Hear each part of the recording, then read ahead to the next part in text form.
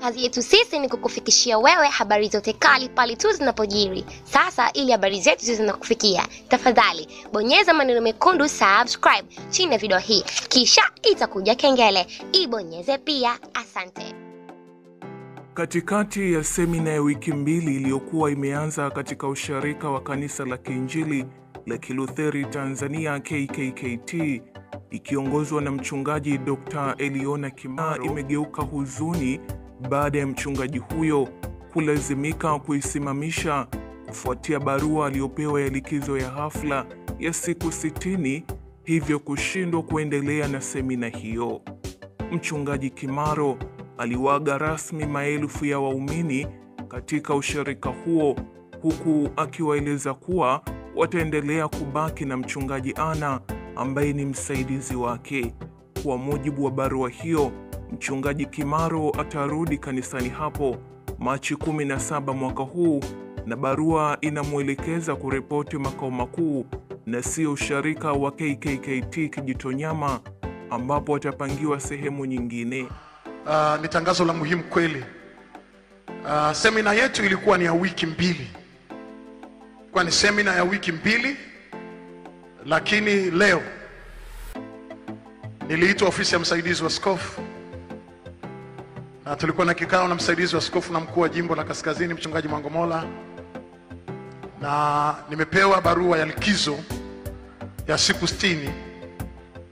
Kwa hiyo ninatumia fursa hii kuaga Kesho asubuhi atahubiri mchungaji Ana na ataendelea kuwa mchungaji wenu.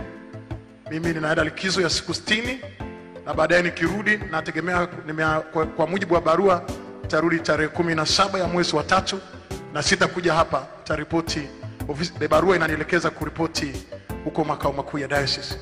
Kwa hiyo ni mimi ni mchungaji wa Lutheran ninayeheshimu kiapo changu cha kichungaji na kuishi katika kiapo changu cha kichungaji na maadili pia ya kichungaji kwa neema ya Mungu. Kwa sababu hiyo imenilazimu kutii na kwenda kwenye hiyo likizo ya siku sitini na baadaye kuripoti kwenye ofisi ya askofu kama nilivyoelekezwa na ofisi ya askofu. Tumsifu Yesu Kristo. May God bless you all. Kwa mara ya kwanza tangu kuibuka kwa taharuki, mkuu wa kanisa la Kiinjili la Kilutheri Tanzania KKKT Dr. Frederick Shaw amefunguka kuhusu sakata la kupewa likizo ya siku 60 na kuondolewa kwenye ushirika wa Kijitonyama kwa mchungaji wa ushirika huo Dr. Eliona Kimaro.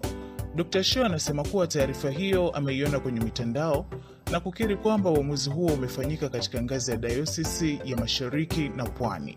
Dr. Shaw amesema taarifa hizo bado hazijatumwa kwake rasmi na amewaomba waumini wa kanisa la KKKT kuendelea kuwa watulivu.